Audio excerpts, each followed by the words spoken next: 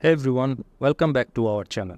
Today I am going to show you how to transfer money with MoneyGram directly to a bank account.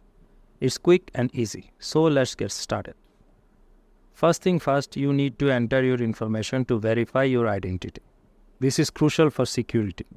After that, you will need to tell MoneyGram who you are sending the money to, how much you want to send, and where it's going. It's pretty straightforward. Next, choose your preferred online method option. Whether it's directly from your bank account, debit card, or credit card.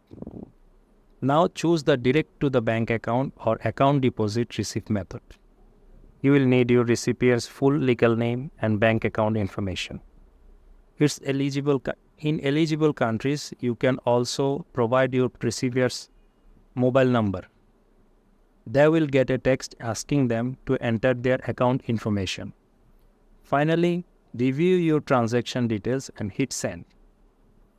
Your money will arrive directly in the bank account with no action required by the receiver. Easy as that. Thanks for